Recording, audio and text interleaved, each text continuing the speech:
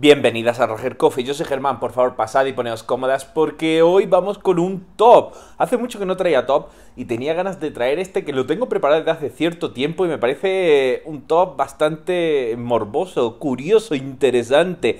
Vamos a hablar de esos hermanos que por algún motivo, básicamente por el morbo, cogen y de repente empiezan a tener, ya sabéis, chiqui chiqui en las series de televisión, que son sorprendentemente muchos. O sea, da muy mal rollo porque es como, hostias, la cosa de los guionistas era muy enfermiza, pero... Uy, uy, me he liado, me he liado. Vamos a ello.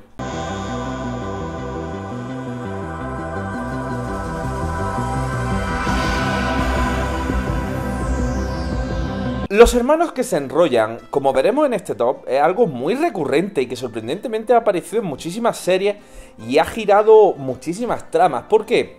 Básicamente todas las tramas de hermanos que, ya sabéis, ñiquiñequean y, y, wiki, wiki, wiki, wiki. Básicamente es por el, oh, está prohibido, pero es que somos hermanos, nuestros hijos saldrán tontitos, yo supongo que esa es la razón, no podemos, nuestros padres, no sé qué, no sé cuánto, es una mm, así de prohibido, claro, ¿qué es lo que pasa? Que estamos en 2017 y los niños de hoy lo tienen todo, no tienen nada prohibido, entonces solo les queda la barrera de eso, era eso, liarse con su gato, entonces estaban ahí, ahí, ahí, ahí, y os voy a traer un top 5 de las relaciones incestuosas más morbosas del mundo de la televisión. Empezamos con una serie que, vale, aquí he hecho en el número 5, por cierto, Aquí he hecho un poco de trampa. ¿Por qué? Porque no son hermanos, son primos en este caso. Son los dos primos de Arrested Development. Pero la he decidido traer aquí porque quiero recordar que en ningún momento he hablado de esta serie en el canal y me parece un error bastante grave que estoy dispuesto a enmendar. Arrested Development.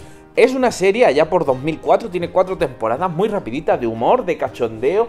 Y si os gusta el mundo del guion, queréis escribir historias, os gustaría ser guionistas algún día, esta serie es imprescindible porque tiene de los mejores guiones que se pueden ver en la comedia finos, finos filipinos. Además, ha dado eh, eh, de esta serie beben series como Modern Family o todo este rollo, ¿vale? Una serie disfuncional donde la haya, o hago un breve resumen, ¿vale? En el que un señor rico que, con tres hijos que han estado mantenidos y mal mantenidos toda la vida, ¿vale? Entra en la cárcel y se empieza a descubrir, pues todos los chachullos, debía de ser del PP o algo así, ¿vale? Había hecho, había construido unos edificios en mitad de la nada, etcétera, había ayudado a Irak, en fin, unos follones que te cagas. Pero nos vamos a centrar en la relación de dos primos, ya que dos de los hermanos estos tienen hijos y los hijos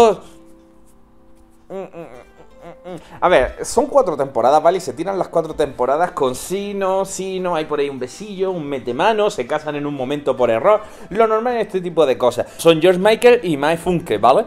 Y el muchacho es Michael Cera, que lo reconoceréis porque es el mismo actor de Scott Pilgrim, que este fue uno de sus primeros pinitos en televisión, hizo antes otras cosillas, y realmente viéndolo me he dado cuenta que tiene una cara tonto. O sea, Scott Pilgrim tiene una cara de tonto que no puede.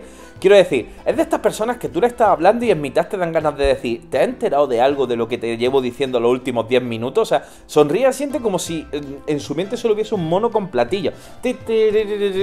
No sé, es la impresión que me da. Y me parece también el hermano retrasado de J.C. Eisenberg, que es el de las redes sociales, el Les Luthor. Nos parecen también como muy parecidos. Pero eso, como que fueron mellizos, como el, este par, Atrápame este par de gemelos, ¿sabes que eran Schwarzenegger y Danny DeVito? Pues son el Eisenberg este y el, y el Maker Cera que se llevó un poco los genes más así sobrantes. Pero bueno, sorprendentemente una relación bien construida y aquí además lo chulo que veremos ahora después es que juegan mucho con, ¡Ah! pero al final no somos hermanos, así que nuestro amor ya es puro. Ah, pero al final no somos primos, así que nuestro amor ya es puro, no sé qué, no sé cuánto. Aquí, eh, dentro del meta, ¿vale? Porque esta serie es muy, muy meta, dentro de, dentro de, dentro de, hay una... Dentro de la serie hay una película, ¿vale? En el que son dos primos, es una película francesa, dos primos que se acuestan. Entonces la ven los dos y se genera ahí la tensión sexual. Y en un momento de la serie incluso llegan a hacer un remake americano de esta película francesa en el que al final se descubre que los primos no son familiares sanguíneos, que es un rollo de estos de eso. Entonces es como, ah, por fin podremos liarnos. Y es lo que pasa al final en la serie. En fin, un cacao, un de hecho un metacacao con una historia que de hecho a día de hoy sigue sin estar resuelta. Una pena porque era muy muy chula y que esperamos la quinta temporada de Arrested Development a ver si continúan con ella. En el puesto número 4 tenemos también un clasicote, ¿vale? Un clasicote, clasicote, que no podía ser otro que es Marmalade Boy, la familia crece. Aquí tenemos a nuestros protagonistas, me lo apunto porque son japoneses y no me aprendo los nombres, de Miki Koishikawa con Yuma Tsura. Eh, eh, fue uno de los grandes momentos what the fuck, ¿vale? Todos los que vimos la serie de pequeñitos, ¿vale? Los que sabéis más de mi quinta los recordaré. Que de repente Yu dice, no, no puedo estar contigo, Miku. Miku se queda, ay, pero ¿por qué? ¿Por qué? No puedo decírtelo, es demasiado horrible. ¿Por qué? Porque Yu descubre que eh, tienen el mismo padre, ¿vale? Son hermanastros, por así decirlo. Entonces se va para no volver y Miku se queda destrozada y es el fin. Bueno, también digo que esto es de lo menos que sucede en esta serie, porque en esta serie hay unos follones que te cago. O sea, no me extraña que, mm, que Yu descienda de perro y Miku de gato y por eso no puedan tener relaciones. Un cacao además sigue abierto. Están sacando ahora los nuevos capítulos, creo recordar. Pero total, también son muy sentidos las japonesas, porque digo yo, coño, ahí te puedes casar con tu almohada. No te vas a poder casar con tu hermana, no sé, es como un lechet, no sé, no sé. Pero bueno, después, mm, para los que no lo sepáis, descubrieron, o sea, los padres hicieron, no sé si fue que hicieron un intercambio de pareja. Entonces hubo por ahí ñiqui ñiqui invertido, ¿vale? Pero después descubrieron que no, que no, que habían estado un poco de tonteillo, pero que no, no eran hermanos. Entonces, pues ya después pues continuó. Pero ahí hubo un momento de tensión de decir, y si somos hermanos, coño, no es tan difícil. Él es rubio, tú pelirroja. Yo creo que los genes no dan para eso. Los genes no dan para eso. En el puesto número 3 tenemos quizás al Regner que más amamos todos. Estoy hablando de la, de la relación entre Cletus y Brandin. Cletus Sputler, eh, de hecho, Mike Cletus Sputler y Brandin que son hermanos, bueno, son algo más que hermanos, como veremos ahora después, algo más que hermanos y algo más que pareja. y tienen muchísimos hijos y representan estos regnes de los Simpsons en su máximo exponente. Voy a hacer un repaso aquí a sus hijos, ¿vale? Porque es decir, no, los hijos no pueden salir tontos, coño, pues más tontos que estos, quiero decir, mm, son súper tontos y los hijos han salido al nivel del mismo tonterío que ellos. Quiero decir, no se ha multiplicado el tonterismo, porque ya les saldrían los ojos aquí, serían un poco más las colinas tienen ojos o, o la matanza de Tesas, pero no, no, no, aquí vemos como realmente se mantienen en la línea y que también tenemos que pensar eso, coño, los Borbones, nuestros reyes, ¿vale? Llevan liándose entre hermanos y primos desde hace 600 años y ahora ya están empezando a salir retrasados, solo hay que ver a la infanta. Ahora, coño, mm, quiero decir, déjale un poco de oportunidad, claro, porque aquí tenemos a personas normales como Gumisu, Tiffany, Heather, Cody, Dylan, Dermon, Jordan, Tyler, Brittany, Weasley, Rammer, Scout, Cassidy, Zoe, Chloe, Max, Hunter, Rubella, Scravies, Kendall, Kaitlyn, Noah, Sara, Morgan, Kira, Ian, Lauren, Obert, Nando, Condolisa Mar, me encanta ese nombre, y Phil, ¿vale? Y salen todos perfectísimos. Bueno, a ver, un Nobel de la Paz no van a ganar, pero quiero decir, además la relación entre ellos es muy curiosa, ¿vale? Porque Brandin en los votos, cuando se casaron Blandín y Cletus, ¿vale? Dijo en sus votos, dijo, eres el mejor esposo e hijo que una mujer puede tener. Y Cletus le respondió, eh, esposa, hermana y madre que he tenido. Dice, perfecto. Ahí hay un lío. Iba a hacer un. Iba a sacar un croquis, ¿vale? Para hacer así una línea, intentar encajarlo, pero. Prefiero hacerlo otra vez de Harry Potter porque madre mía, qué follona y aquí liado. ¿Qué es lo que dice un Regner antes de lesionarse gravemente? Regner es como. Eh, es Cletus, ¿vale? El rollo este. Es Hillbilly, ¿vale? Dice. ¿Qué es lo que dice un Regner antes de ser lesionado gravemente? ¡Eh! Mira esto. ¿Qué logras cuando tienes un grupo de 32 Regner en una sola habitación? Un conjunto completo de dientes. y el último, ¿cómo llama un redneck que tiene un perro y un gato? Un redneck bisexual. Pero venga, porque vamos al puesto número 2, que tenemos, como no puede ser de otra manera, tenemos a Cersei y a Jamie Lannister. A ver, son de estos hermanos que se lían y yo digo, hostias, me tiraría cualquiera de los dos. Es de estas parejas que dan todo el asco porque son demasiado perfectos y demasiado hermosos y demasiado... Te cogía así y te destrozaba la cabeza. No voy a añadir nada más porque como están las cositas con el mundo de Juego de Tronos, no quiero hacer spoilers, solo, solo aquí hago una breve mención, ¿vale? Que me lo estuve planteando antes mientras estaba haciendo el tema y, he pensado que sería capaz de mataros a todos y a cada uno de vosotros por ver solo los 10 primeros minutos de la nueva temporada de Juego de Tronos. Que estoy deseándola demasiado, que estoy, esto es peor que cuando, que cuando dejé el caballo, ¿vale? Estoy desesperando. Ni la morfina, ni, ni, ni, la, ni la metadona, ni nada están consiguiendo suplir esto. Y como no empiece ya Juego de Tronos, no sé qué voy a hacer, pero necesito que empiece ya... Oh, ¡Uf! nada, nada. Voy a inyectarme, voy a, inyectarme un poco de clorazepam a ver si se me pasa. En menciones especiales podría haber nombrado, yo que sé, algún clasicote, Lucky Leia, por ejemplo, también ahí hubo, hubo tema Macarena.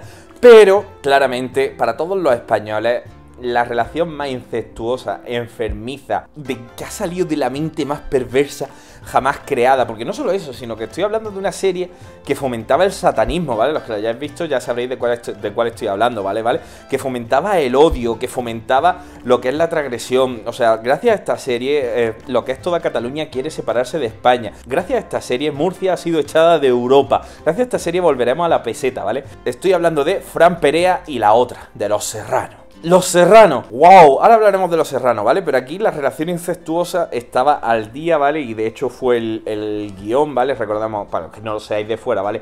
Era un hombre y una mujer que se casan y el hombre tenía tres hijos de un matrimonio anterior y la mujer tenía dos hijas. Entonces los dos mayores, ya sabéis, wiki wiki ñiqui ñiqui, se prolongó muchísimo en el tiempo, ¿vale? Enfermizamente en el tiempo, teníamos ahí a Antonio Resines con la escobilla de bata en la mente sucia.